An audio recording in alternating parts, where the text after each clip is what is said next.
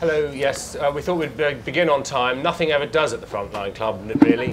Uh, so we'll also end on time. And um, it's my proposal to run it as a public meeting. So there won't be discussion at the end, there'll be discussion all the way through. Uh, which uh, I've sat in an audience and it can be very difficult to, to keep things till the end. So please, if you'd like, uh, when I open it up, which is very soon, do uh, get involved. So the topic that you've kindly come uh, for tonight is an idea that there's a power behind the throne in the United States.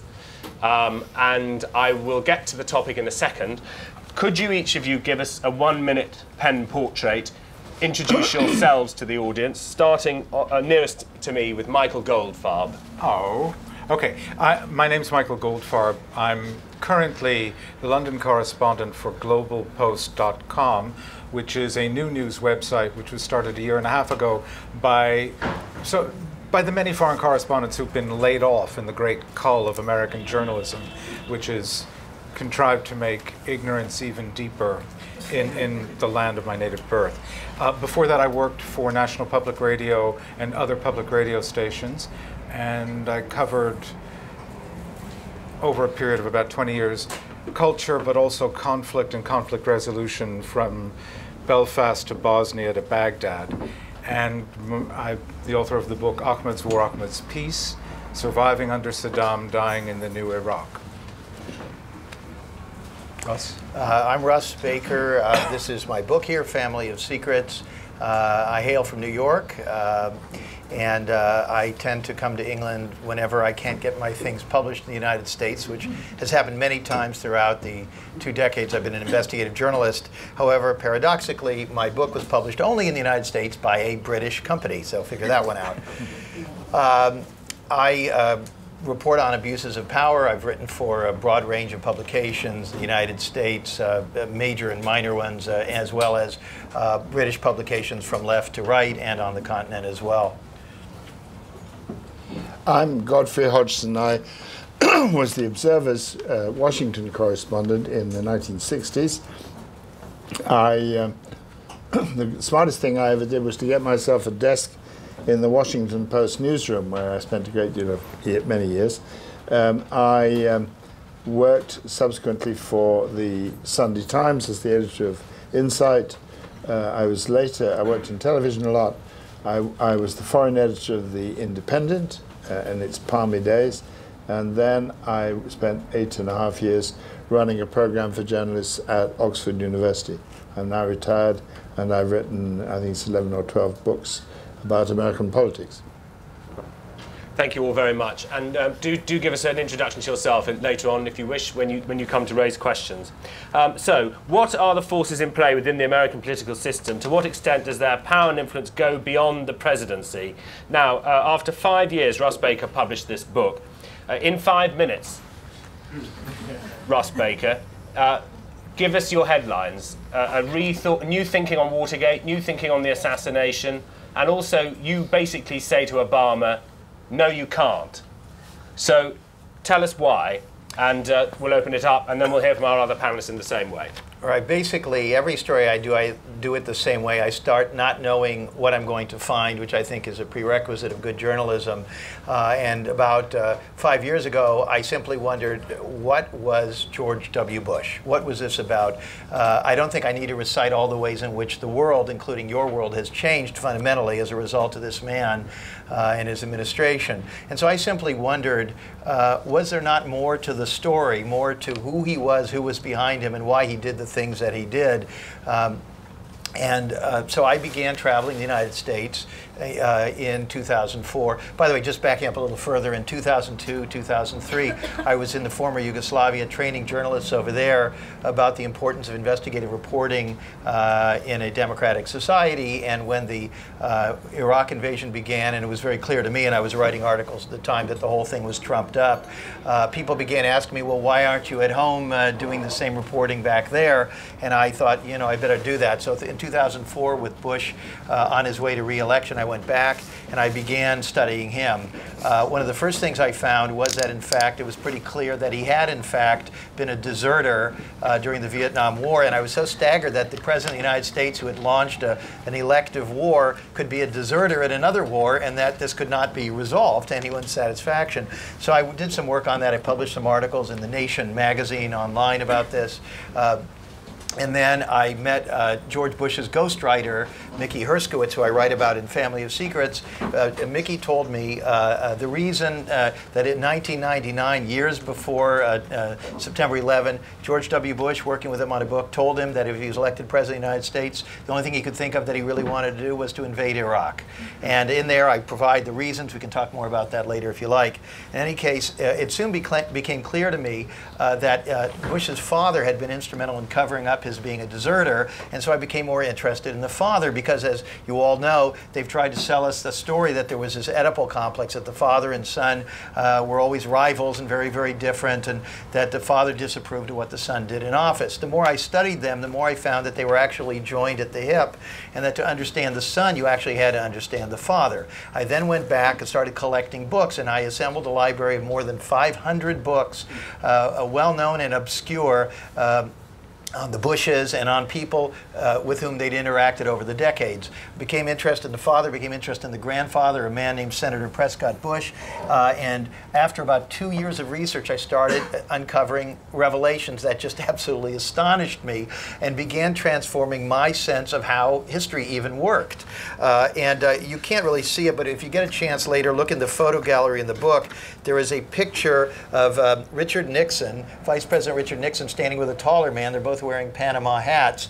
Uh, uh, very clearly that the taller man is in command. if you look at this, I think everybody will agree with that. The taller man is toying with Nixon's hat, and Nixon looks sort of embarrassed. At the time, Nixon was the vice president of the United States. The other man was Senator Prescott Bush, the grandfather of George W. And that picture, as they say, it was worth a thousand words, which I'll try to do in about 20. Basically, what I discovered was that uh, there was a secret history to how George W. George H. W. Bush, I call him Poppy, which is his family nickname in the book, how Poppy Bush uh, became president of the United States, and this explains how his son became president. Basically, the father had a secret life. The father was not only, as we all know, the CIA director for a single year, brought in as a fresh face to clean it up. In fact, what he was was a deep cover intelligence officer himself his entire adult life. That's one of the many revelations of Family of Secrets.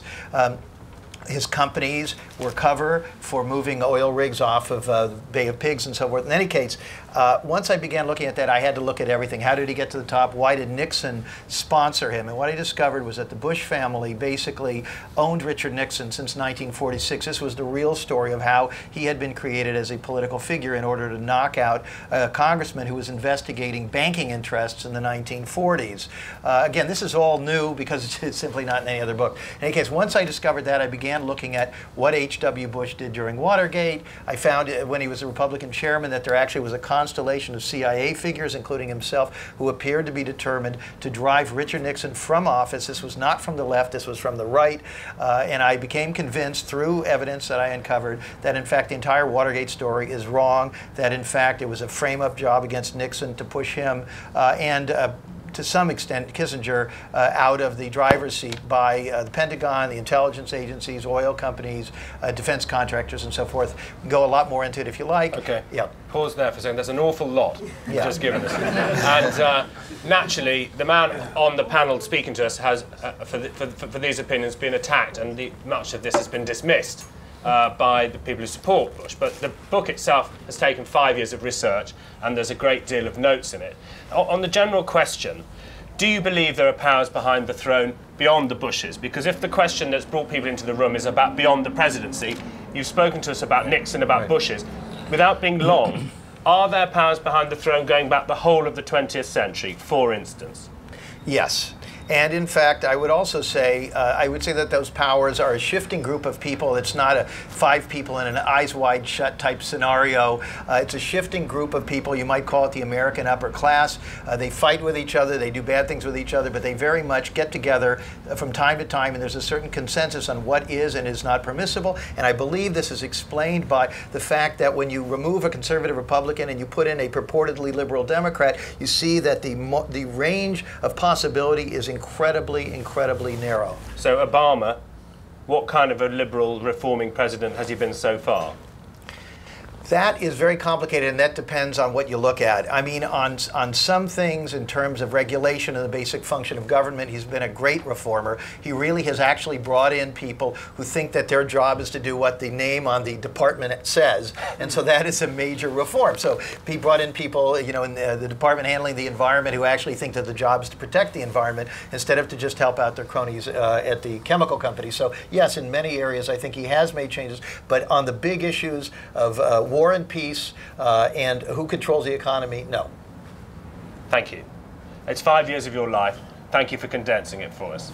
Um, Godfrey Hodgson, uh, you've got to do the same for 50 years of your life. Yeah. Uh, five minutes. Well- Are there powers behind the throne, and what's the evidence for it? Well, I don't think there's a single conspiracy. I never have thought that. I don't think it's feasible. What what is true, I think, is that America is has always been, or has for a long time been, a class society. It, this is passionately denied. I mean, when I first met Americans as a student at Oxford, the first thing they would do over the first beer was say, "You do you realize we don't have class in our country?"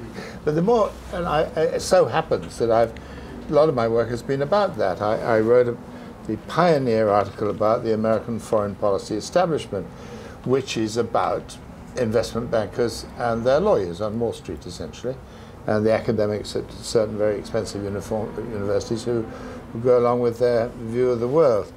I've also written a couple of biographies of people who are within that uh, world, including an interesting man called Colonel Edward House, who was Woodrow Wilson's uh, right hand man.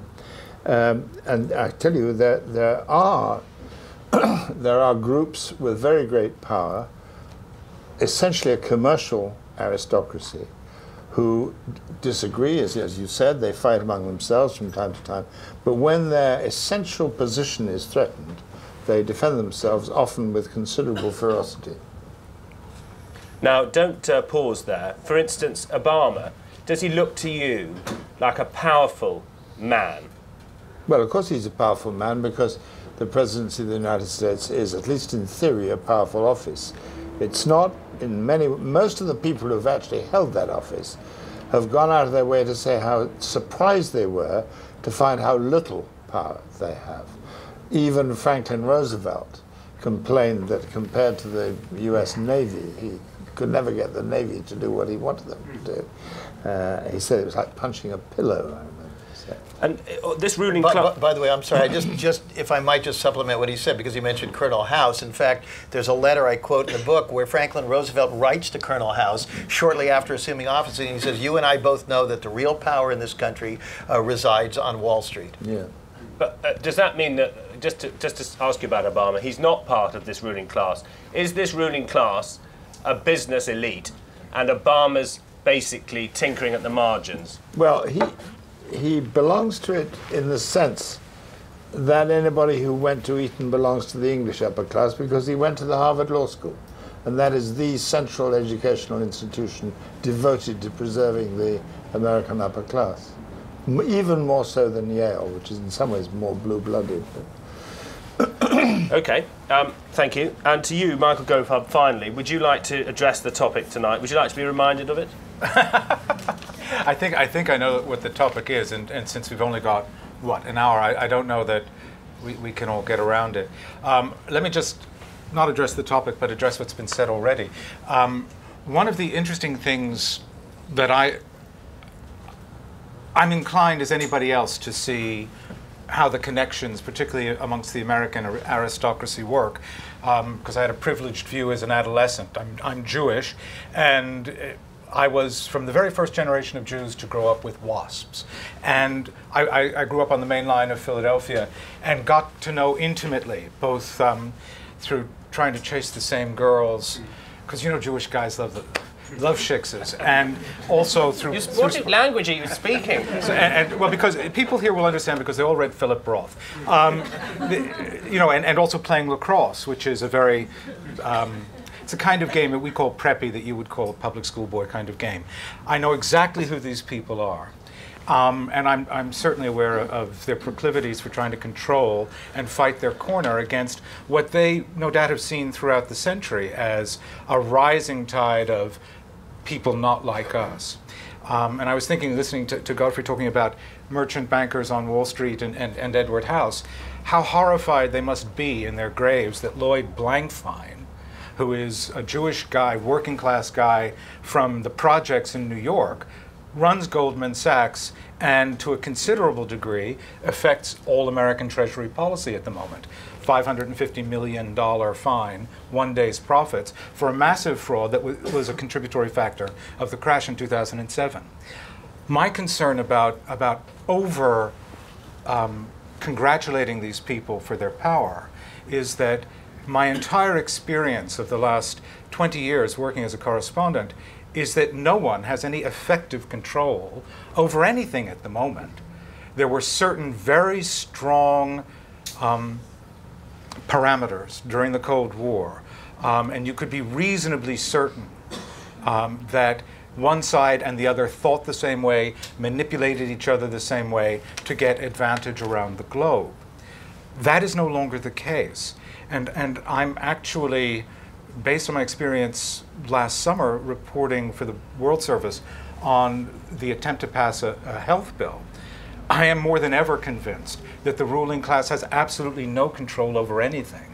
And that there's a mass, and that massively around the world, we are in a time of extreme chaos, which, and, and to ignore this um, in search of you know, some kind of framework for reality is actually quite dangerous. It needs to be thought through more thoroughly, I think. Now hold on, hold on. So there we have a view that it, it, you know, there are people who are behind the throne. A view that the throne is well, not sitting on anything. It's all a disaster, uh, and uh, you know, a view that there's an upper class in the United States and they act in an old-fashioned way. So let's just hear some views from the audience, uh, which is you. Uh, if you'd like to say what you think about the subject and specifically what you've heard, if you'd like to agree or disagree, we've got a microphone. Does anyone want to start? Yes, please, coming up. Do, do, do just uh, say something uh, about yourself and then ask one of our panelists or the room. Hi, uh, Brian Saker, just, just a member of the public, really. A member, um, did they let you in?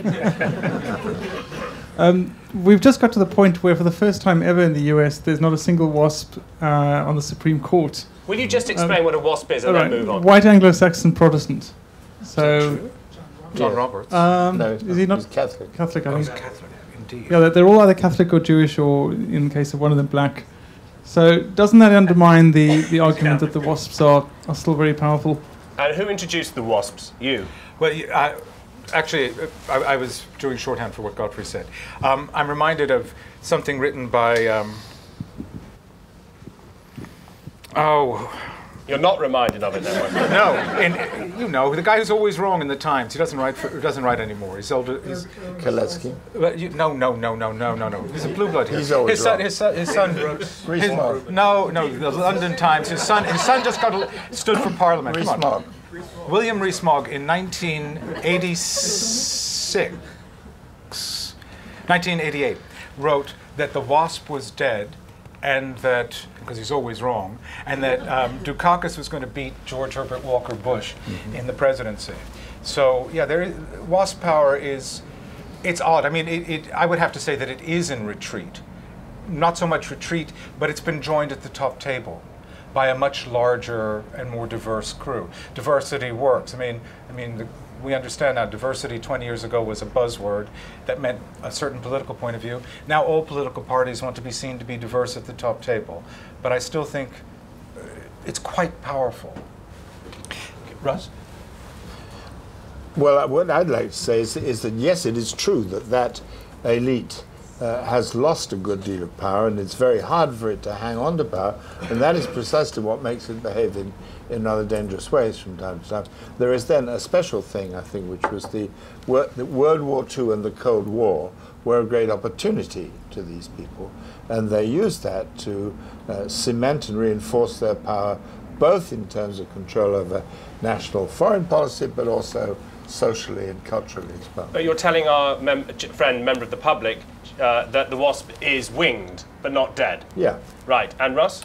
Yeah, I I don't think that that, that whole discussion, it, to me, is particularly useful. Um, I don't really care who they, uh, people who are powerful and wealthy, use, whether they get a black person to run for president or more Jews feel comfortable and uh, particularly as attorneys and Wall Street people feel perfectly happy to join them at the trough. I'm just not that interested in that. Um, uh, since I came here because because of my book, I'd just like to say this is not a book of theory. Unfortunately, we weren't able to get copies of the book to everybody on the panel, so just you, you should know that. Um, I do have more than a thousand footnotes in here. This is literally a collection of specific facts that I assembled. And just to briefly explain to you some interesting things, George Herbert Walker Bush uh, could not remember where he was on the day that John F. Kennedy was shot. He was 40 years old. He was a Texan. I thought that was strange. I spent two years trying to answer that, and I ended up uh, uh, uh, connecting him to actually being in Dallas that day with a group of people in military intelligence and in the CIA. I actually have their movements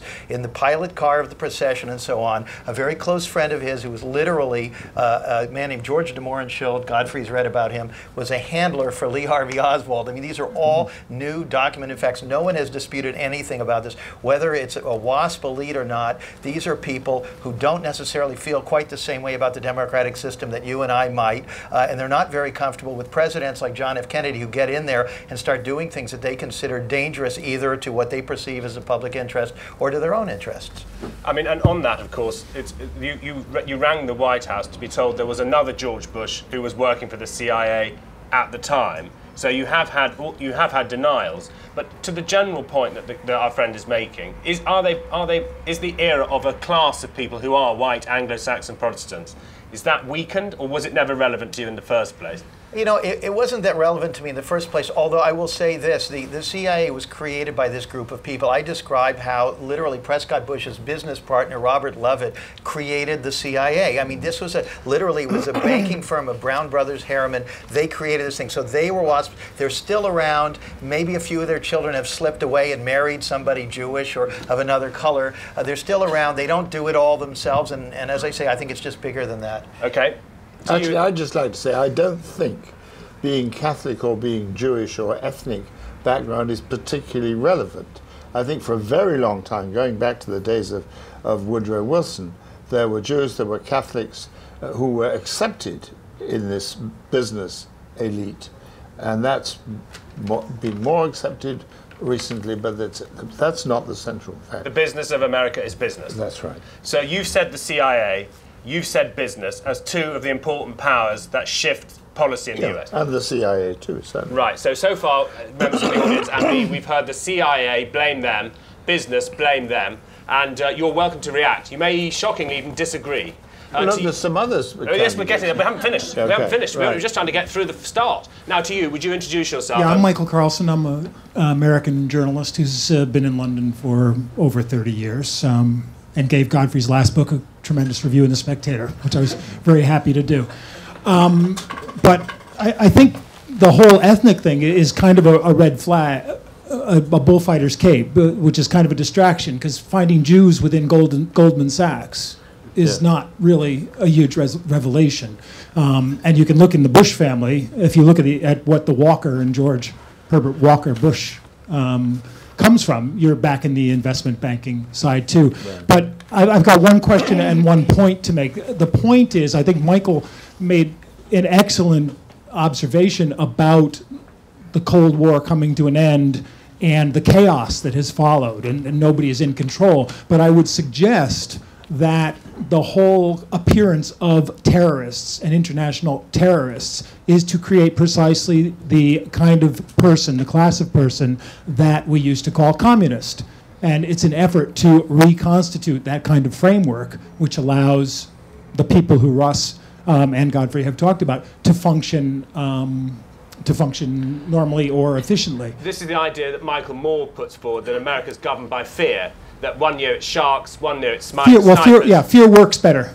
You know, fear is a better motivator than, so, than so most things. As far as the topic's concerned, you're saying terrorists, but they're not the power behind the throne. But you're saying they're a, they're a good bogeyman. Exactly. Slash woman. Exactly. And my question to Russ is simply: he did a huge amount of research, you know, and there's plenty of, of new stuff, and there's also plenty of stuff which he researched that was out there, and out there largely, I would say, among people who were discredited by major media? And has he found the same kind of approach from major media to some of the sources that, that he's used and to some of the people who've put ideas out there like his? Uh, well, first of all, there are there are things in my book that have been out there before. A lot of them were assembled by people who you would consider sort of amateur researchers who came upon documents that were interesting to me. I credit them, I footnote to them. Uh, I think the overall picture is very, very different. However, uh, in terms of the reaction, there's no question I've been attacked. Uh, the first review, one of the first reviews out of the Pike, uh, a fellow basically uh, began quoting Richard Hofstadter about the paranoid mind, did ignored the substance in the book all of these declassified documents, my actual interviews with uh, five or six hundred sources on the record. He just ignored all of that and said, I'm crazy and I probably think the U.S. didn't land on the moon. So this is the problem. You get attacked by these people. And the man who wrote that, by the way, considers himself a liberal. I found that the people who are most threatened by this actually are liberals. There are people who uh, supported Obama. They're very, very emphatic about their, their greens and this and that and so forth. But they're basically very, very comfortable, and they are uh, de facto part of the establishment. And this stuff is so disturbing and so traumatizing, I won't deny it, that it really makes you have to rethink your own life. Yeah, basically. because you're, you're saying it's the system, it's not individuals. Right. And this brings us to you. If I can ask you this, Godfrey Hodgson, do you think in the States it's sort of unpatriotic to question the system, the American dream, and it's better to find a bad guy or even a rogue state? Because if you, if you turn the mirror within the country, that's very hard for Americans, many of whom have died in wars in Europe, uh, to, to answer sort of questions about corruption and rot within the system. I, I do think that it's very hard for Americans to criticize the system. They have been if you like, socialized or conditioned to believe that it's a much better, a far, far better thing. Uh, I, I, remember the last time I was on the Today Show in New York, uh, the woman interviewing me uh, said, "Well, it's all very well. You're very critical of our system, but I mean, I mean, I got to Stanford on a scholarship. You couldn't do that in Europe." To which I said, "Well, until we had a very American-oriented prime minister, uh, everybody went to university free." I, I, want to let that one settle. It, it, it's a good one. Um, I just want to come back to, to, to Michael's point and, and, and, make this one. It's a, it's a bit abstract, but try and wrap your head around it. Um, Al Qaeda didn't need us to create them. I mean, the, at one level we did, yeah, because we armed them. We, we armed the Mujahideen to fight the, the Soviets, and then uh, we didn't decommission them, as it were, in, in, the way that we decommissioned our World War II battleships and everything when that conflict was over. And possibly we should have decommissioned Osama, but we didn't. Um, the, the, the truth is that terror would have found its way west for other reasons. Um, and once it did, it was perhaps the single biggest gift ever given to the Bush administration. I mean, even more than the Supreme Court handing George W. Bush the presidency, he was floundering immediately, immediately a flounderer, as you could imagine. And then, boom, the World Trade Center is knocked over, and they could, as Michael suggests, I think, reconstitute the global enemy. But the enemy is real. I mean, this is, this is what I'm asking you to wrap your minds around. And I, I sometimes think that it's it's a continuation of, of, Edward Said's theories for us to sit here and think, oh, well, this was all created by the, the United States because it needs this to maintain its hegemony. It, it's, it seems to me that that's a continuation of Orientalist thinking. In fact, within the Middle East, there's enough grievance and enough worldview and enough counter reading of their own history to create a phenomenon like Al Qaeda or just you know the whole movement towards a global caliphate, whether the U.S. was supporting Israel or not, whether the U.S. was uh, trying to uh, prop up the Saudi regime or not. Coming to you, coming to you in the audience in a second, but your, the relevance to this topic is is it that this keeps a pliant public that when whoever's leading it, the people aren't really very. I, I don't. I don't think that there's any doubt that there is something in, in Gore Vidal's you know phrase perpetual war for perpetual peace works for the American public for a variety of sad reasons. But just for the theme of tonight, whoever's leading it, if they're a bunch of largely contented consumers, they're not going to get in the way with any nasty questions. That's kind of the way it goes, is it? I'm not following your question. Well, whoever's leading the United States, and there, tonight the question is: Is it not the president? Is it a group of other people? Do you need the people to be pliant? Whoever's leading, I mean, you, they can't be asking too many awkward questions. Is that the link to terrorism? Because the terrorists aren't running the country, are they? No, no, no. But, but, but we're very quickly we've been conditioned. I say we. I mean, people in America have been conditioned in a Pavlovian sense to be so profoundly fearful. I mean, every time I, I did a piece two weeks ago uh, to mark the fifth anniversary of seven seven, and the whole piece was about how there was no there was no occasion to mark it at all. No official occasion. Why? Because in this country it is subsumed. I mean, it happens. In America, I can assure you that next year on the 10th anniversary, there will be this outpouring and more fear and more fear piled on Americans, and it will continue to govern them. Okay, so, I- no, no, not now. We're going to the audience. It's a public meeting. You first, you second. So themes tonight: fast. blame the CIA, blame business, loyalty to the flag makes a pliant people, and the governed by fear. The, you're first at the back. Okay, on, on uh, try uh, try and be Would you say who you are and about about, Yeah. about yourself? Luke Douglas Hume, a freelance journalist. Um, um, tr- I'll try not to be too convoluted, but let's just say in very shorthand that your your basic assertion is that every president, in effect, is a team player. They play the game and they become president. They, the team player, i.e., team of bankers, team of CIA, team of whoever the, the team is, the gang is. Which president do you think, if there has been one, who once in power has changed the game a bit? Great who question. out of it? Thanks very much. And keep the microphone, and, and you, he's back and forth. Let me start with the different direction. Would you go first on that, Godfrey? Would you single out a president with an independent spirit? I'd single out two. One is Franklin Roosevelt, and the other was uh, Lyndon Johnson. They both changed the game in a very serious way. Um, I think there are overlapping circles of power, and presidents could be seen as floating on the top of them like ping pong balls on a jet of water, or they could be seen as riding them as a man rides a horse, controlling these much stronger powers. And I think both uh, Franklin Roosevelt and Lyndon Johnson were exceptionally good at keeping their balance on these on these uh, rocking horses.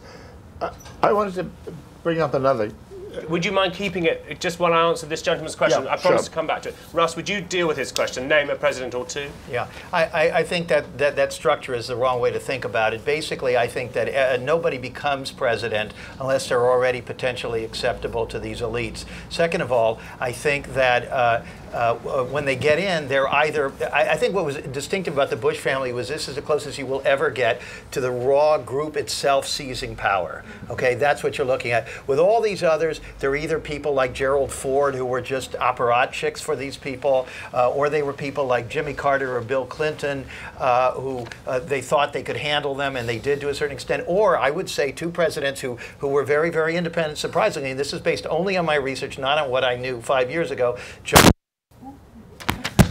It's all right. I'm all right now, everyone. I'm, I'm, I'm really doing my best. John F. Kennedy and, paradoxically, the man he defeated in 1960, Richard Nixon, who turns out to have been an entirely different thing, getting into office and then taking on some of the same people who had sponsored him. Okay, and to you, Michael? Um, uh, it- in, in my life, I, I probably would agree with, with Godfrey on Lyndon Johnson, despite the, the Vietnam War, where he was. I mean, in fact, you, you can see what happens when a president who really knows what he's talking about and doesn't know what he's talking about is in the room with the guys.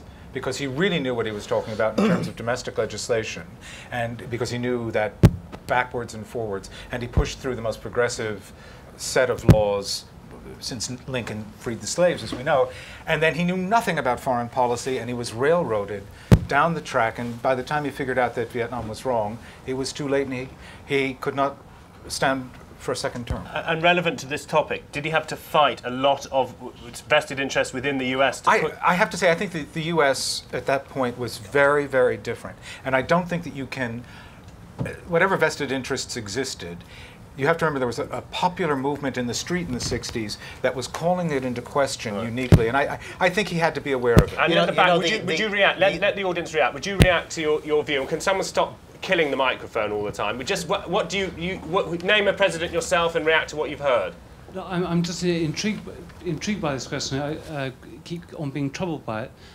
I think Reagan, in my, in my lifetime, Reagan was a game changer in his whole dealing with the Cold War issue. But I'm, i may be wrong, but I, I think he was. I think Reagan was a creature of absolutely a kind of business oligarchy which controlled him.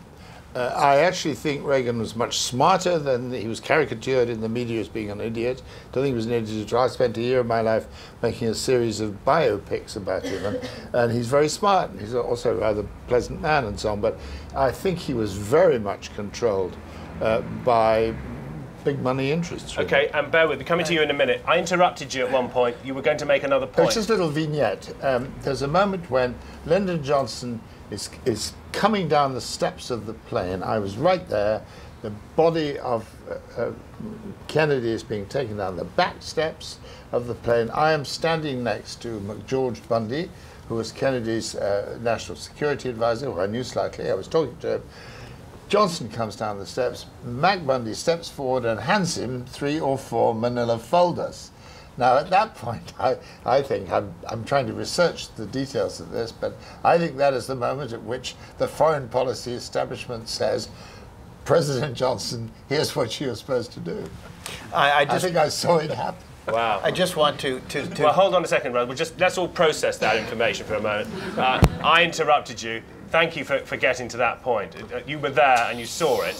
Um, is this it's, rela it's, related to exactly what this gentleman said and, when, and what Michael said. The, the, the, issue of the domestic versus the foreign policy, I think here's the problem. The people that I'm talking about, the people who primarily uh, fill the pages of Family of Secrets, uh, they don't care about gay rights and they don't care about civil rights and they don't care about civil liberties. They're not interested in any of those issues. These are the issues that bring Americans left and right to attack each other and they love that. You see, this is the brilliant thing, is to get working people all at each other's throats because the issues they care about about, which is primarily the control of natural resources around the world, are a whole different game. LBJ was funded and sponsored by literally the same people as George Herbert Walker Bush. And in Family of Secrets, I reveal that, that Bush and Johnson were very close friends. This has never been reported before. Okay, okay. now you, have kindly waited. Would, would, you say a bit about yourself and? Um, my name's Ishmahil uh, Blagrove, freelance journalist. Um, point I'd like to raise is you've spoken about sort of power behind the throne and its connection to the CIA, big business, uh, the banking institutions and the likes. Um, but what about the fourth estate? What about the connection of the media and its role in terms of sustaining the status quo? Um, you're all a part of the media. You've been part of it for, for quite some time. And I know my dealings and workings with the BBC, I've witnessed some sort of questionable practices in terms of how news is reported and whether it's actual fa actually factual. So I'd like to know, uh, my, my question really is, what role does the media play in sustaining the status quo? It's not just the sort of this you know, um, rich, wealthy elite. And um, before, before the panel deal with it, would you give us a clue to what you think? It, it, you've come into the room to see are there powers beyond the presidency. Do you believe that the media is beyond the presidency as a power in the US? Well, I think the media is one is one of the tentacles as the departments such as the CIA or you know it's, it's just a part of a, of a, of a broader uh, plan to sustain the sort of status quo, the thoughts in people's minds, to creation of sort of war and turmoil. So it's a powerful, t- it's an arm, not a head. For you, it's not a head, it's an arm. Well, I wouldn't know, but right. um, but at the same time, I do recognise that it is that it is a tool and it is used um, by that entity to. Please keep the thoughts. microphone, Ishmahil, because we'll get some, you can react to what you hear. Would you begin with this? You're part of the problem. Uh, That's a good way to put it. Actually, not anymore. I was I was laid off five years ago this month, and I'm currently described as self part-time employed. Um, you know, it's, it's interesting. It's, the media has changed also over the last 30 or 40 years. I don't think you can underestimate the impact that Watergate had on the establishment. Richard Nixon was forced out of office. Um, I, I, think Russ has some views as, as to what was really at work there. But I mean, what happened after that was two things. First, um, I think that the powers that be decided the press would never hound another Republican out of office.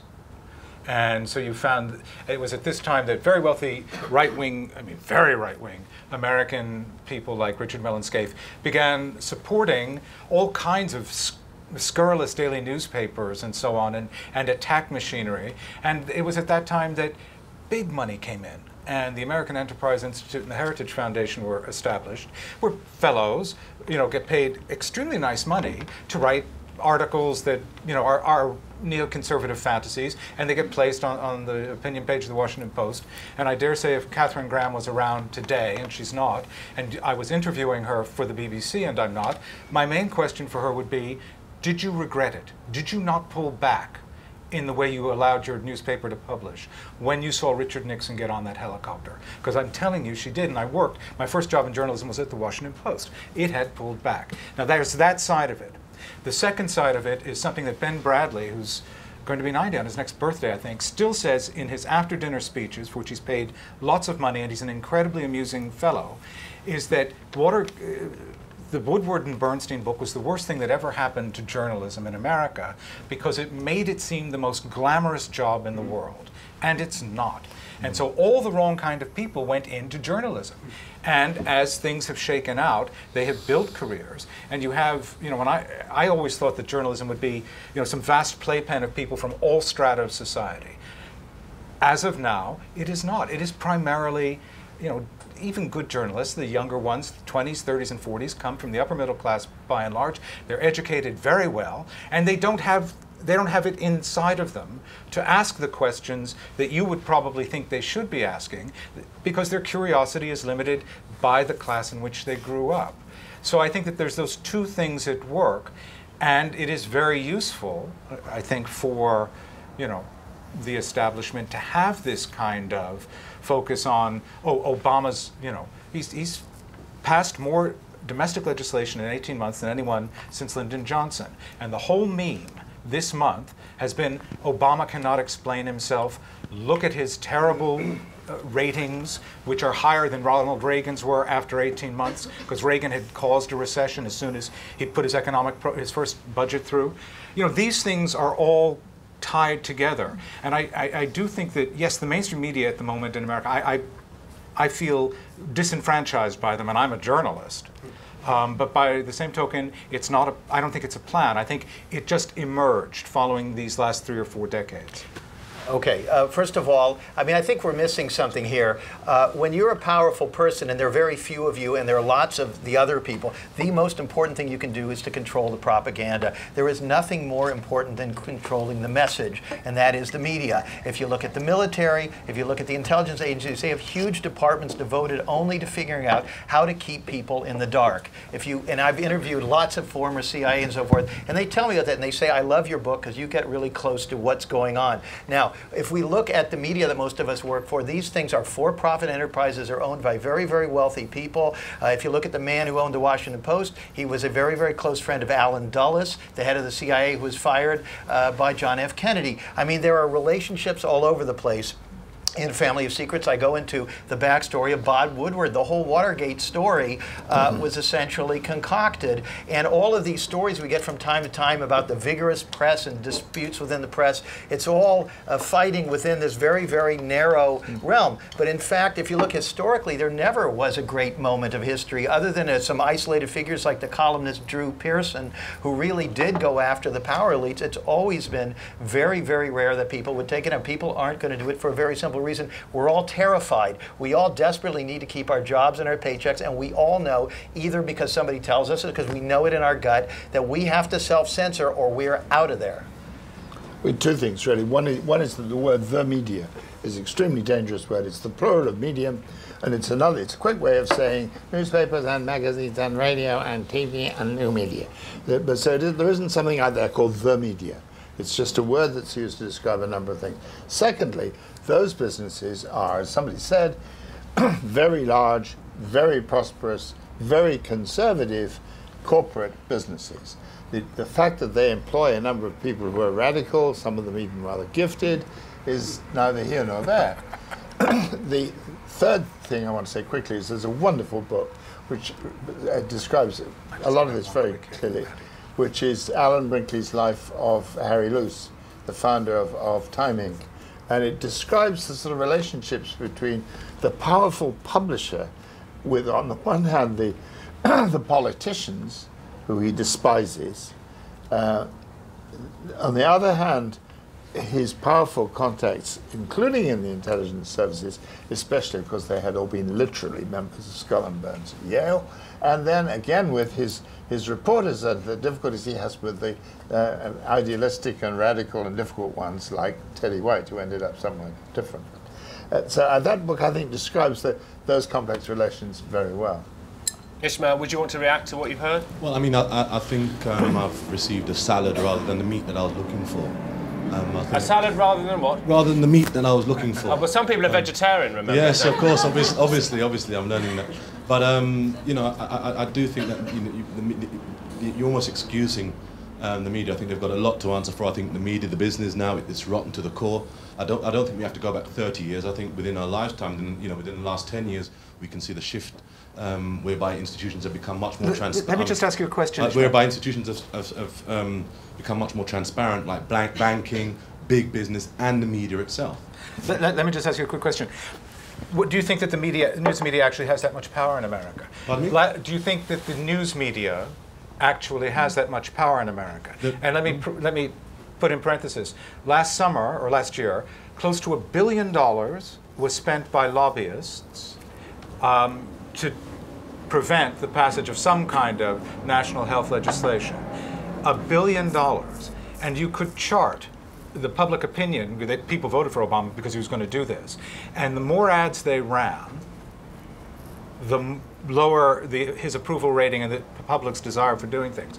I, I, I'm just asking, do you think that any any objective news media can fight against a system in which anyone with enough money can run attack ads day in, day out to create public opinion? Well, first of all, I don't think there's such a thing as objective media. Um, but in, in response to that, if, you, if we look at one particular case, we had the, we have the Chilcot uh, Iraq in, in, inquiry here in, here in Britain, and we had, you know, people were waiting for Tony Blair, the star witness, to give his evidence.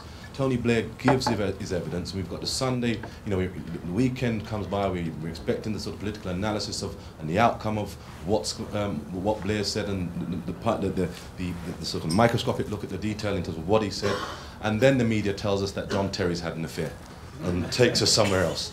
And I'm just saying, you know, we- we have to really look at the, the media's influence in terms of diverting the public's attention away from serious matters. Okay. I, I'd have to agree with you, and also I'd have to say that uh, I mean one of the one of the one of the key issues is that um, uh, they don't tell us how bad things really are. And so he was, you're talking about the lobbying. I mean, it's much worse than people know because they're so determined to be fair with the yes, Mister, yes, Mrs. on the one hand. On the other hand, that's not good reporting because good reporting would be to tell, would be to call people crooks when they're crooks and explain when they're basically buying the whole system. That is just what everyone on Capitol Hill understands. If you talk to them privately, they'll tell you. And so the gap between what is understood by the people who are there and what the public hears is enormous. And therefore, yeah, I think the media has a tremendous uh, uh, guilt, actually, in, in preventing the public from understanding how bad things really are and that they need to all get involved and do something about it. I, I'm going to move to another question from the audience. On this panel recently, on this platform, there was a discussion making plain that this has been a time of maximum deaths for journalists in recent years, and some have even been beheaded on the internet live. Uh, and in some parts of the world, at one occasion, 10 were killed at once. So, whilst this is a club that wants free discussion, it should be said, I think, from this platform that there's been a lot of death toll for journalism, and it's worth reminding you of that. But I'm not seeking to disagree with you. I just think it's my job to say this same uh, organisation uh, tries to highlight the plight of journalists who try to tell the truth. So, but, but being a public meeting, you're welcome to come back at this uh, as the evening progresses, which it will now with you. Uh, would you kindly say something about yourself? And off you go. I'm Kevin Bell. I'm happy I'm not a journalist and just a member of the public here. Uh, I just want to explore how this works in practice. Uh, I think the argument is that both Kennedy and Nixon betrayed the powers that be, and the former was killed and the second was deposed. And how did that happen? The cabal met and had a meeting, or I mean, just explain to me how that works. Well, that's why the book is here. There, I brought 24 copies. They're available, and I'm happy to sign them. And there's uh, 600 pages explaining exactly how those things work. Okay, I'll buy the book. Go for it. Well, I, I, I take the force of that argument because these things do not work as. Uh, th- these are not organized armies in which people issue orders so much as, you know, it's the ancient story of Henry II and Thomas à Becket, who will rid me of this turbulent priest. There is an atmosphere in which it's felt it's time somebody did something about something, and underlings take the crucial decisions, I think. I, am actually not going to say anything on this because I haven't read Russ's book, and I look forward to it. I, am very keen because um, I've long thought that, that Nixon. It just seemed obvious to me that he'd been deposed. The, mecha- the you know a reasonable accounting of the of the mechanics of that I haven't seen, and so I'm looking forward to reading Russ's book just to find that out. Um, it was all just a little too pat, and I, I wonder what he did where he wasn't pliant? Was it the opening to China? Did that frighten them? Was it his willingness, um, in the same way that Margaret Thatcher was willing to close grammar schools, he, he, he carried forth the civil rights agenda. All kinds of possibilities here. Plus, he did actually do the conspiracy. So that was a gift to them again in the same way that Osama flying planes into the towers. I mean, if you if you look at Obama, um, it's it's a very similar situation. I mean, he uh, they, they trumpet the fact that he raised uh, hundreds of millions of dollars on the internet, but he also raised hundreds of millions of dollars from hedge funds. Uh, and uh, we have, by the way, a website called WhoWhatWhy.com, uh, which you started. It's a nonprofit investigative reporting site, and we're trying to do these stories of the picture behind decision making. So, for example, you see uh, Obama golfing last summer on vacation with the head of UBS Bank uh, of the United States, which had just been fined three quarters of a billion dollars for encouraging Americans to evade taxes, and yet Obama felt it was okay to take this fellow on vacation with him. Um, there are there are absolutely limits on what these people can do. And by the way, you know what what do the intelligence services do? I mean, they have thousands and thousands of people in all sorts of cells who are uh, very compartmentalized uh, and who, uh, by the way, uh, uh, anybody heard of Mossadegh in uh, in Iran or uh, Arbenz in Guatemala or uh, how about Chile or Brazil or shall I go on listing the places where representatives of the U.S. were involved in deposing and killing, in many cases, uh, elected officials. So clearly there is a mindset that this is acceptable. To think that that could never happen where the stakes are the highest in our own country seems to me kind of naive. Um, what's your own view? Are you an American?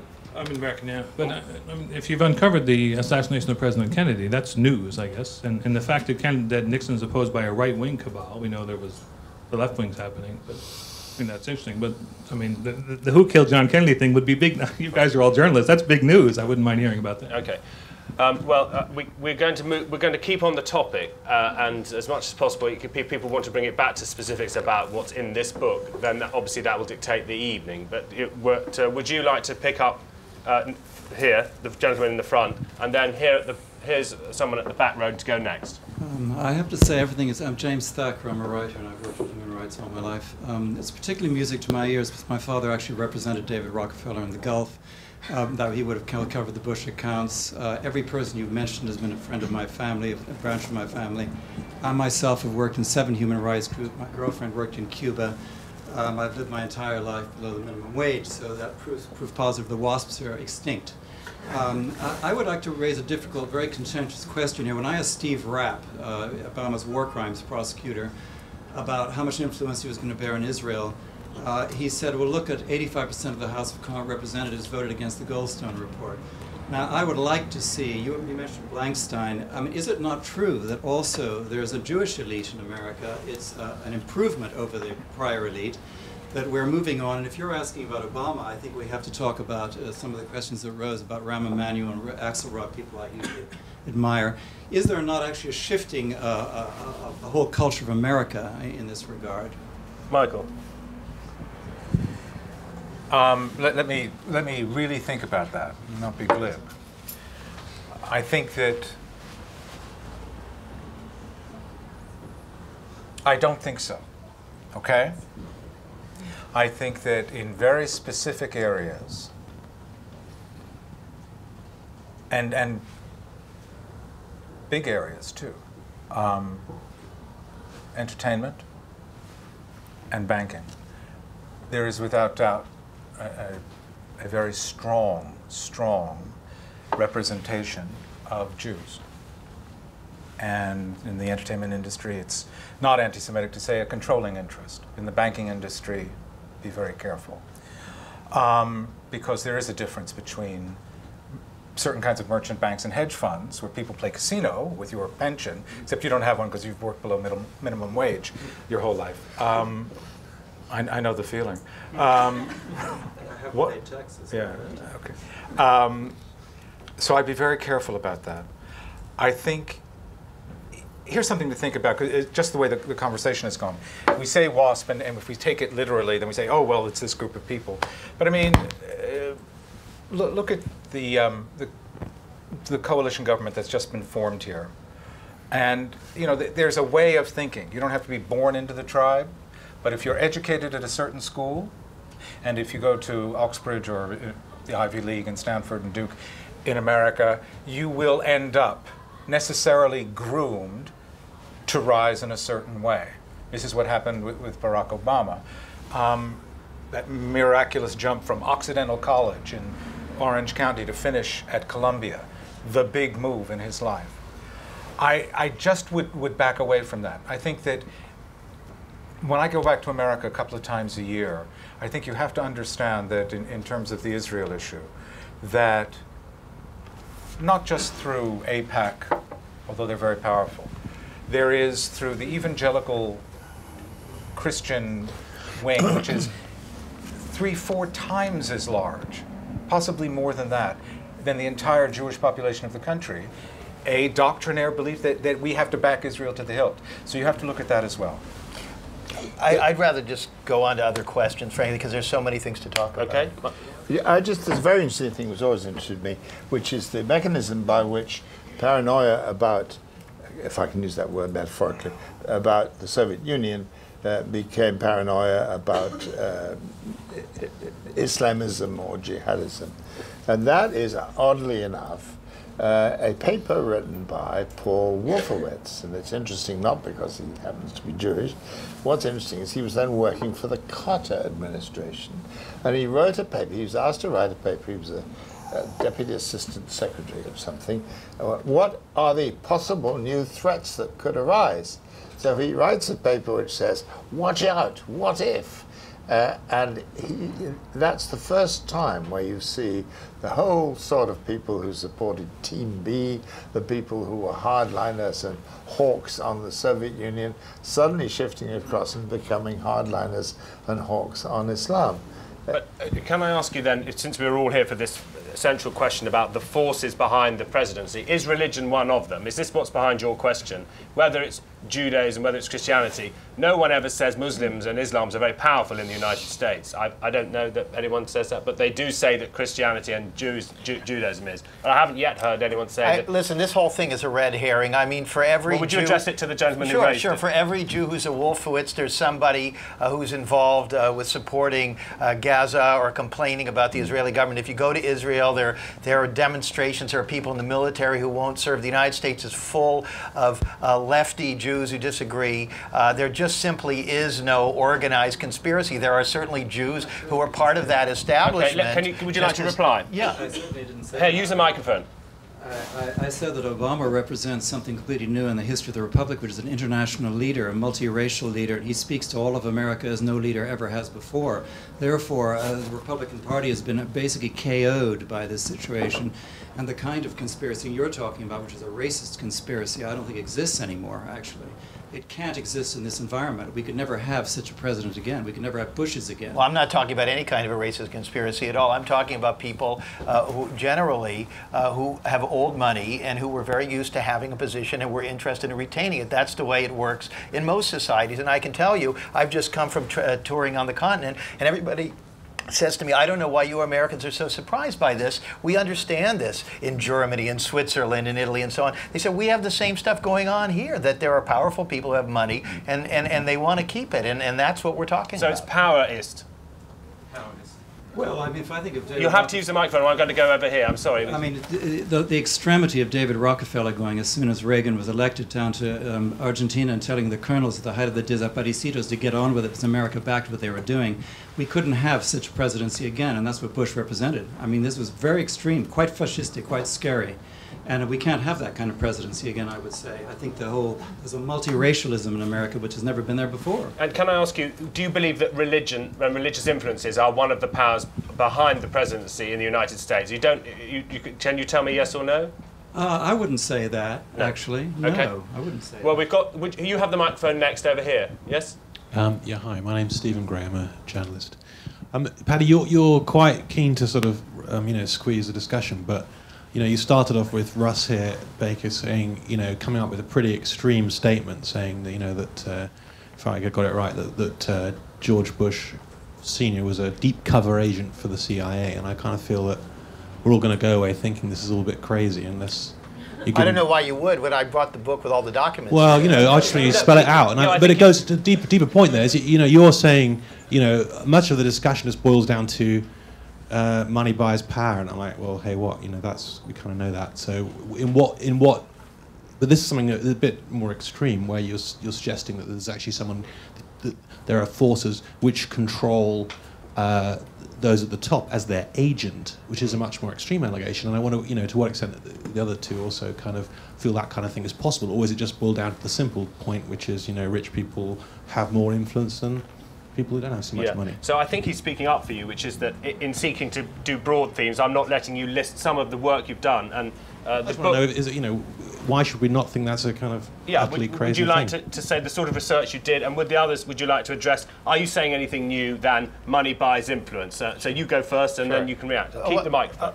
Okay, so so basically, I mean, again, I want to emphasize my work is I'm not trying to argue some theory here. I came at this thing uh, tabula rasa. I just started assembling documents. So, for example, I discovered that in 1953, George H.W. Bush created a little small obscure oil company in West Texas that nobody ever heard of. Nobody ever heard of him either. And yet, the owner of the Washington Post gave him fifty thousand dollars. That wa- head of the Washington Post was the closest friend of Allen Dulles, who ran the CIA. I have a letter where they talk about our Caribbean project, and then they put a rig. This company never made any money off of Cuba. The company was co-founded with a man named Thomas Devine, who I found what had been an active duty CIA officer who quote unquote resigned to go into the oil business with Mr. Bush. I called Mr. Devine, who is still alive in New York City, and I said, I have these documents, and he said, Am I authorized to talk to you? And I said, Well, by who? And he said, Well, have you, has this been cleared by the you know by the Bush family? And I said.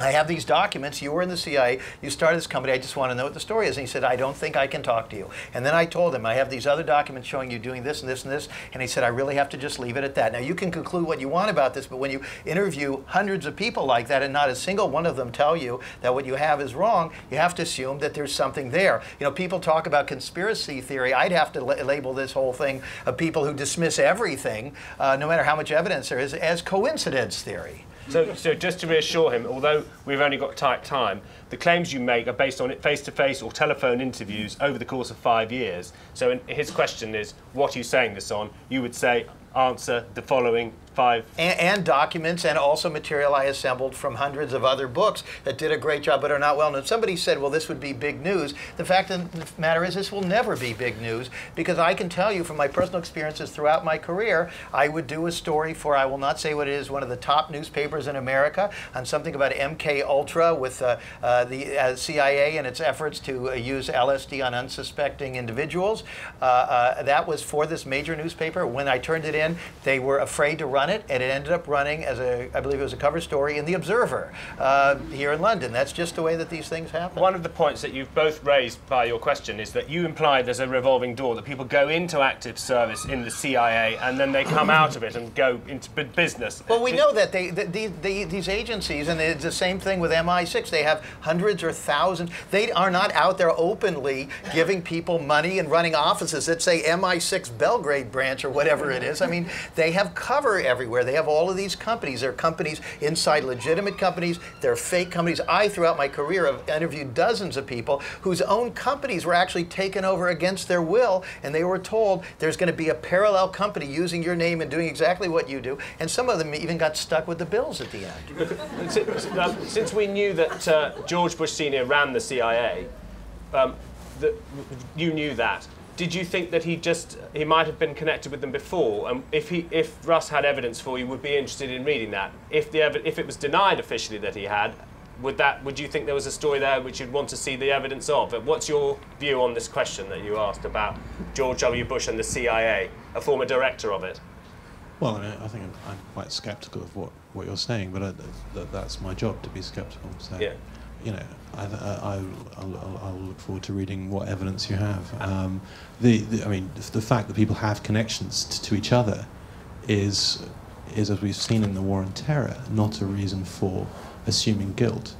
Yeah. And I, I, Well, I, I actually- I I actually myself spent a lot of time looking through the National Archives, uh, looking into uh, uh, in, of the U.S. The, the Prescott Bush, and, and I mean, I didn't know anything like the research you've obviously done, but just looking at one specific story uh, regarding his uh, profits made during the Second World War. Um, and what was interesting to me was you saw a lot of people connected together.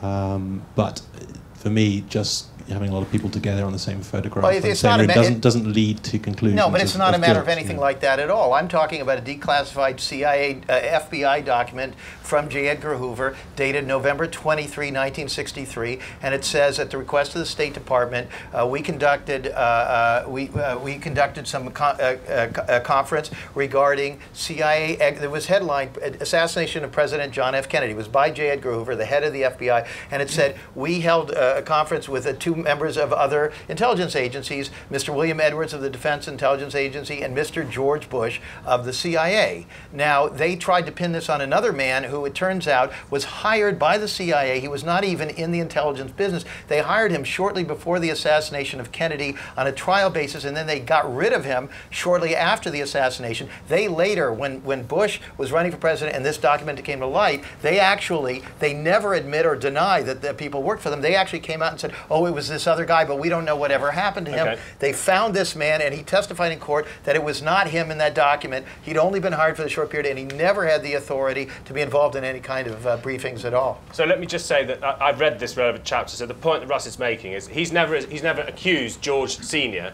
of being involved. He says he knew he was briefed by the CIA because there was a document he got his hands on saying George Bush. Subsequently, he rang the White House to be told it was another George Bush. And then one of the themes of Russ's book is that there are people with similar names who crop up throughout the work of the security services. God forbid you and me are involved, someone else comes along, has a mysteriously the same name.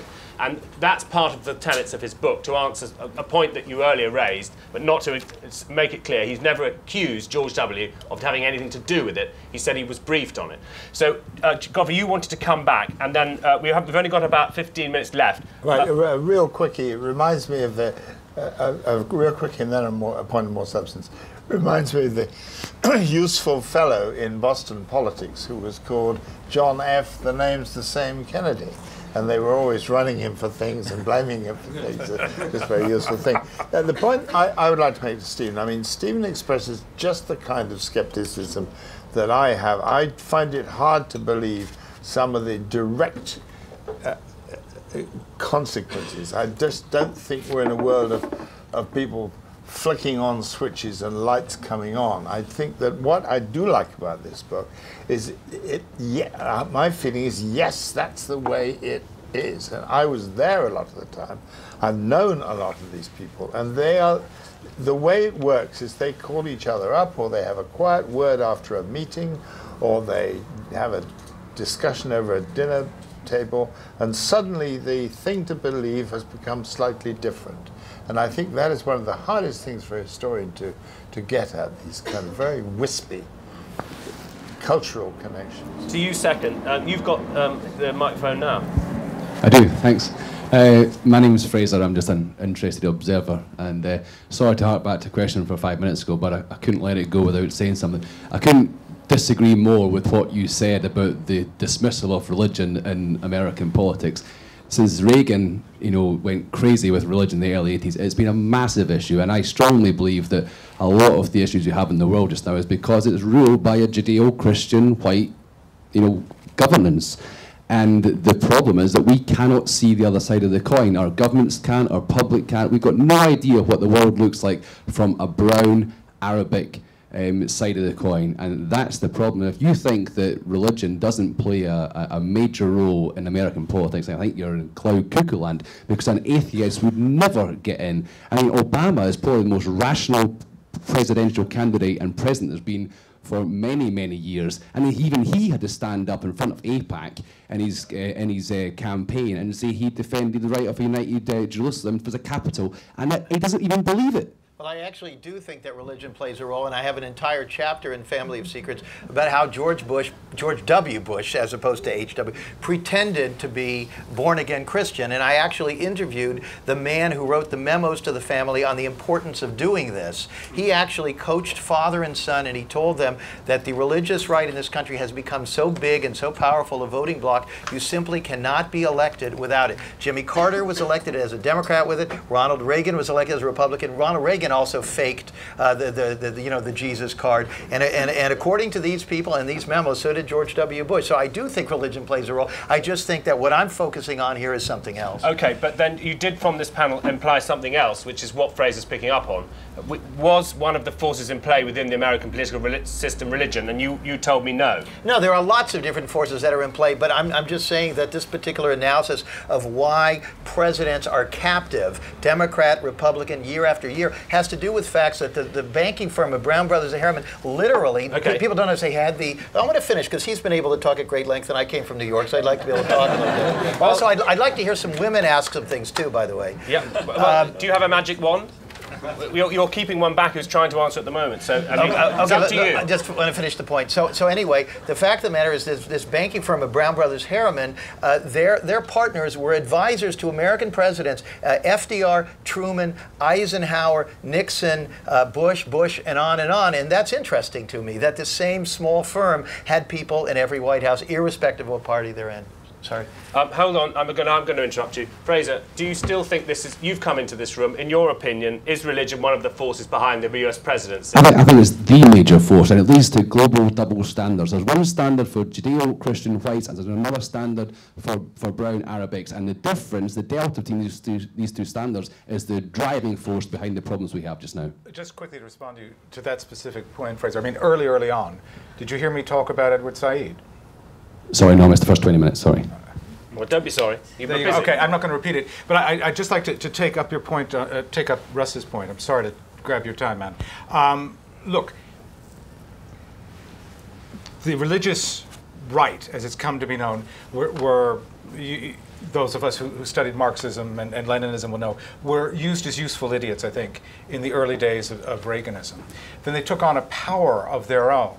And I think that one of the very large problems facing the Republican Party now is that they're so powerful at the grassroots that the Republican Party, which probably wishes it hadn't created this monster, now has to pay pay homage to it in almost everything it does. And I think that, that to that extent, um, religion is a very powerful, powerful force in the day to day.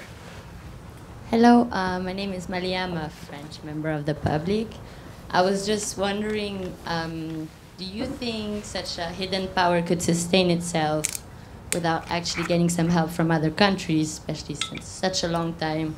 I know it's out of the scope of the subject, but I think that narrowing the subject of hidden governance strictly to US, always putting the blame on US, will not help the chaos that you were talking about, the worldwide chaos because it's just not logic to think that one country can do it all by itself. Especially for the media, all the sources are intertwined. Same for the CIA. Don't you think it gets some help from other intelligence institutions? And again, like you were talking about religions, I'm asking you, do you know if, like, for example, there's some meetings sometimes of all regi- religious leaders Uh, well, first of all, let me just say that I mean I think nationalism is for saps. Um, you know, the, the, the, poor people are the ones who send their children to die in the wars. It's not the rich people. We, we see this with George W. Bush. Uh, the fact of the matter is that for rich people, they've always intermarried. I mean, look at the British royal family intermarried with the Tsar's family and the, and the Kaiser's family. I mean, they never cared about that stuff. These guys were doing banking deals, uh, you know, in Russia uh, with the, with the, when the Tsar was in power and they were perfectly happy to deal with the Bolsheviks. They don't care about any of that stuff. We're the ones ones who are left to talk about how other countries are somehow threatening to each of us. Uh, so, so yes, absolutely, I think it's an international phenomenon. I think figures like Berlusconi, uh, your leadership in France, I mean, these guys are all in cahoots. Uh, they're all working with very big companies. You just have to look at uh, BP, uh, uh, huge blocks of those shares, which are owned by the sovereign wealth funds of all these other countries, major blocks of shares in the United States. It's all mixed together. And by the way, in Family of Secrets, near the end of the book, I have a section on, on the backstory of the relationship between George Bush and Tony Blair, which hasn't been reported before. And it's through an old school chum of Blair's who's in the oil business, and it connects back to BP as well. Uh, my name is Martin. Could I just clarify something that somebody asked earlier um, about is it just uh, money and influence and power, or are people in, like a, a president, um, not an agent in an intelligence sense, but a, um, uh, you know, somebody tells them what to do, so they, they hand in some documents at the bottom of uh, some plain steps. Can, I, can we throw this microphone away? Can you say it all again on this one? Okay, just let's pretend that one never existed. Start again. Sorry, yeah. My name is Martin. Um, just to clarify a question from before um, about uh, power, influence, and money. Yeah, that's nothing new. Or what? To what extent does uh, Russ or the other panelists think that um, a president is um, sort of controlled, not an, not an agent in an intelligence agency sense, but uh, somebody who's handed some documents uh, at the bottom of the plane steps. Um, yeah, that, that Somebody not takes quite advice. Conspiracy, but yeah, advi- yeah. Well, the difference between influence, advice, and who's the top guy? You mentioned the, the guy with the hat, and you can tell who's in control. Like you know, the Panama hats and, and the photo. Godfrey, do you want to start, and then we'll go back down this way? Yes, I think this is the, the most difficult question for historians. The, the relationship between individuals who do have a certain freedom of action and yet who respond to forces that are stronger than them. Uh, but I think that politicians everywhere, and certainly politicians in Washington, have a very acute sense of who you must not upset on and of what uh, issues it would be dangerous to take up. And I think that that, the, the, the, process of how those no-nos and those yes-yeses are defined is the thing you want to look at. And I think that in the United States there has been a, a moneyed aristocracy, if you like, an establishment, uh, which has defined what you can say and what you can't say. I mean, for years, I remember listening to, as a, as a British journalist, you know, listening to people pontificating about the Cold War and systematically exaggerating the strength and power of the Soviet Union as an excuse for demanding more defense expenditure, uh, more hardware. Um, it's very hard to get at. You, it's very easy to do conspiracy theory about, oh yes, they all go to the Bilderberg conference, uh, conference or the Ditchley conference, and somehow the deals are being stitched up there. It isn't as crude as that, and yet there are ideas which are uh, excluded, and there are facts which are concealed, and as a result, decisions are taken which are in people's partial interests. Uh, let, let me give you a recent example. Are, are you all familiar with uh, General Stanley McChrystal, uh, who was recently removed by Obama? Uh, long ago, uh, they were leaking uh, when Obama had not decided what to do about Afghanistan. And remember, who is Obama? This is a man who had no experience with any of these things, is suddenly thrust into the most powerful position in the world. Who actually bothers to ask who this man really is, how he got to the top, who wanted him? We just skip that whole thing. Rah, rah, we're thrilled. It's a black man, it's this and that. No, no, he's a dangerous socialist. I mean, it's all nonsense. But in any case, uh, look at McChrystal. So here's this man, and they leak this report saying that the U.S. basically has to uh, increase the troop strength in Afghanistan, and Obama's hand is forced, and so he re- agrees to uh, 20,000, 20 some thousand additional troops.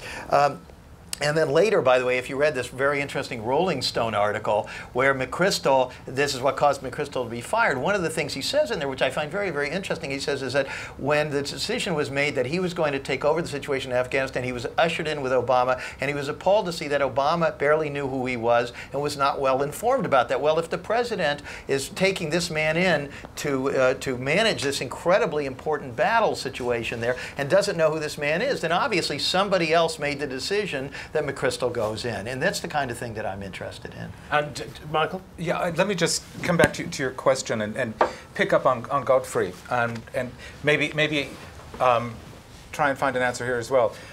I think Godfrey points to something around the table, people of like mind. Just after the uh, coalition was formed, I wrote a piece for Global Post noting that the real danger is this uh, no, no, no, no. I mean, Clegg went, went to Westminster and, and Cambridge, and, and, and uh, Cameron went to Eton and, and, Oxford. Okay, they might have some social friends in common. Osborne is Westminster and Oxford, uh, blah, blah, blah, all of that stuff. What happens is, when they sat around doing the negotiation, even if they didn't know each other, they knew each other. They could have said, Did you know so and so? Just over coffee while they were trying to hammer out the break. Yeah, I did. Well, he was my teacher too, and one thing and another, and there's a comfort zone. And then the next thing you know is you have an agreement, and the next thing you know is you have the budget. Now, this is what happened to Lyndon Johnson, and, and to a certain degree John Kennedy, eh, but he was fighting his way clear of it, then he got shot. He, he put together a group called famously the Best and Brightest. They were all chaps of a certain age, of a certain education, of a certain war experience. There was no other voice at that table. And consequently, once they, they put the ship out to sea, that's where American policy went for a decade. One of the good arguments for diversity, which gets forgotten now that it's become a demonized word, is that when you bring people in from 15 different social classes and get them around the table, then a lot of what you think is, well, we all think this, isn't possible anymore, and you come up with different solutions. And I think that in, uh, in understanding the way America works, and in fact, I can just imagine a scenario, and I'll, I'll look for Russ's article explaining precisely how McChrystal got appointed. I can see that he, you know, it's a big job, president, even if you have no real power. Um, you know, the, what are all these papers? And someone comes up to him who says, Well, I had dinner with Petraeus the other day, say Petraeus, or say someone else at, at the Pentagon. And he says McChrystal's actually the real deal. Well, I want Petraeus to be running CENTCOM, says Obama. That's decided. Okay, well, McChrystal has the respect of the troops. Bingo. That is all that goes into the decision. That's right. And McChrystal is there, and, and with Uh, what happens. And I'm waiting for the thorough Yeah. report. Okay, but let me, here's the thorough report. More than half of the disposable dollars in the U.S. budget goes to war. Okay, war is the single biggest industry in the United States, and without war, our economy simply collapses. This is the elephant in the room. We journalists act like this just doesn't exist, and so all of this stuff is this kind of stuff. A guy comes in and had dinner with someone. That's nonsense. I mean, the fact of the matter is, almost every major company in America, and by the way, all your big British companies, they all live off of war. The companies that make buses and bus shelters and this and that and shoes and whatever, their biggest clients are almost always the military. It's this huge and never ending gift that keeps on giving. And we don't talk about this. We in the media should be covering this issue on a daily basis. This is as important uh, as the oil gusher uh, in the Gulf is. It's, this is this is a cash gusher and a gusher of lives, and we don't talk about this stuff. There are all these people, and let me tell you something. Just as we're sitting here, believe it or not, there are other people in the world, and they may be all sitting at somebody's house near where you were born, on the main line of Pennsylvania, having dinner together and smoking cigars, and they're not exactly having the same conversation we're having. They think that people trying to do something about climate change are an annoyance to them and what can they do to stop those people? How can they vilify those people? How do we get the word out and get the public to think that they're right, not the other guys? This is the way it really works. They talk about stuff. I just want to tell you one quick story. Uh, uh, one uh, journalist, a very well known, well respected magazine journalist, after reading my book, said, You know, uh, around the Watergate era, I was invited in to have dinner at the Senate with one of the two or three most powerful Republicans. He called me and he said, Your work is very, very interesting, looking into whether there was something else about Watergate. And he said, Do you ever notice how the, we know who the CIA director is, and, and we don't know who the directors at that time are MI6 and the Mossad and the Italian intelligence and French intelligence? He said, Do you ever wonder why that is? And the guy said, Yeah, I did. He said, Why is that? He said, Well, do you ever wonder if the head of the CIA is really the head of the CIA? And then he just kind of let that sink in with him. And he said, Why do you think that would be? That these people would be there for a year and then leave? That a George Herbert Walker Bush would be in there for a year, a complete doofus who couldn't even complete a sentence, and yet they name the CIA building after him. I mean, the, the notion that powerful people simply uh, want to go in and overthrow people, as is uh, they've all admitted in all of these other countries, but in our own countries, they simply want us to decide everything. I mean, it's just ludicrous. It's really ludicrous that these people don't do anything. And um, just in our final closing minutes, if you want to, to have a closing thought over here to the uh, to the side with the working microphone, can I also ask to elicit views from anyone in the room who disagrees? Uh, in other words, that there is a power behind the presidency, and it's the people, and that the U.S. system, uh, the U.S. system encourages people to, to vote in primaries, encourages shareholders to kick out bonkers business people, uh, and if there's anyone who wants to put a sort of old-fashioned view about trust the people, uh, you should do that before the room closes. And on the grounds of the presidency, you know, obviously in Europe, uh, there's been some great examples of, the, of generosity from the United States, the Marshall Plan, uh, the contribution of US troops in the wars against fascism. So what powers were they uh, there? No one's, uh, no one said if it's always bad for our interests, for instance, but time is tight now. So uh, those are questions for you. But uh, over here in the corner, I hope you've got a working one. Please uh, bring us to, to sort of a conclusion. Well, I think I, I have got a working one. Thank God for that. Um, and the microphone? Yeah. um, just the microphone, I think. uh, my name is Mick Smith, and I apologise for being part of the mass media. Um, I was very struck by the when the question was asked about the presidents and name two presidents, and um, I very struck, as most people would have been, by Michael Moore's film, where you see George W. Bush being told about 9 11 and, and you, he sat on that primary school chair. And um, the similarities with a president trying to deal with a major ecological disaster and changing horses in midstream in Afghanistan when, you know, I, am sorry, I thought we were trying to sort the country out.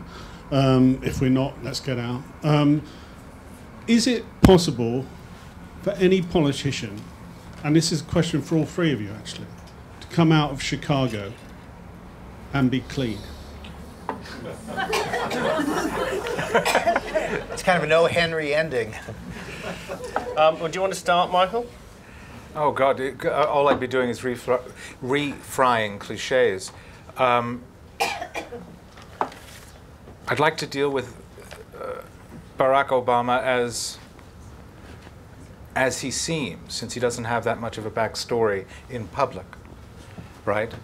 He seems to have managed to twist the necessary elbows to rise very quickly from small local positions to the state senate, to the Senate, to the White House in what, six years? Um, I'd like to think that in his case, he used the power at his disposal. Um, in the same way that the, the once great WASP aristocracy, still great in some places, um, uses its power. People use what, what power they can. His power, I think it goes without saying, was in the fact that here he was an African American and he was exceptionally articulate. And I think that his liberalism, which is quite centrist and always has been, he never seemed flaming, except, you know, if you think voting against going to war in Iraq is, you know, flaming liberalism, he did it. Um, but by and large, he's a centrist. So I think it isn't a question of him being uh, washed in the impurities of, of Chicago life as, as, we know it from David Mamet. I'd like to take him as he is and try and see him as he is, which is, of course, very difficult because you know, the Washington Press Corps tends to paint him as they would like him to be painted.